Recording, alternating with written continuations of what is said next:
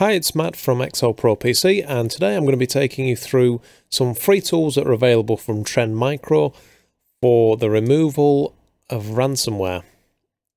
So, and also the, there is also another tool that Trend Micro do which will also try and decrypt any files that have been encrypted from a from a ransomware virus. So, I'll put the link in the description just below and this is the page that comes up when you go to that link. And as I said there are two files that you can download. Well there are actually a few more when you get into the sub-component levels of it but in this section here the top one is the file decryptor tool which all being well will allow you to decrypt some of the files that have been encrypted by this virus this ransomware virus and the second option down here is the Trend Micro Lock Screen Ransomware tool. And basically what that is, it's a free tool that will help you to remove the cryptoware, the ransomware from your PC. And what it does, it will install itself. You'll need a USB device, uh, a USB stick. And what this what this tool will do when you download it is it will install itself onto the disk, onto the USB, and you can boot from that USB and remove and clear any viruses off your system. Um, this is specific to ransomware. Is this tool? It won't. It's not going to work on every virus going. So, one thing to bear in mind is that if you already have Trend Micro, that you should be actively protected already from these types of attacks. So if you already have Trend Micro installed, you, you shouldn't need this. But if you do, as I say, the link is below and there are these tools available. If you are able, when you go into the anti-ransomware tool,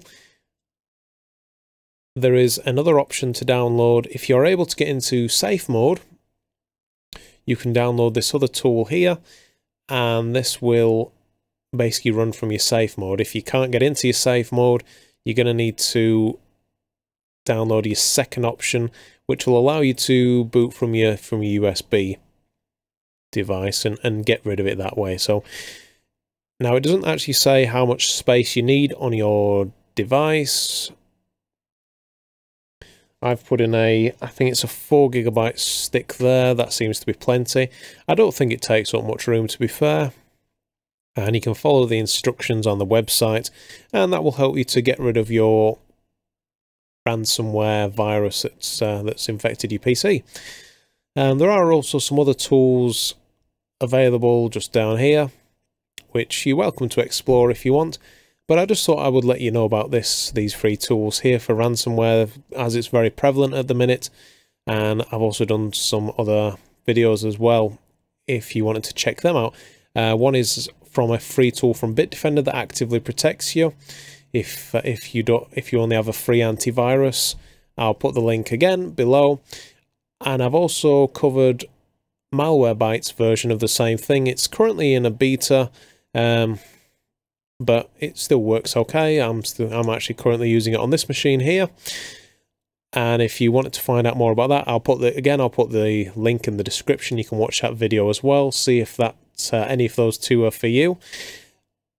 But if you like what I've said, if this has been useful to you, subscribe to the channel. I'm doing about three videos a week-ish, depending on how uh, what my schedule's like and they can cover various things from security through to uh, through to things about YouTube and other sort of IT tech things. We repair other things on here as well.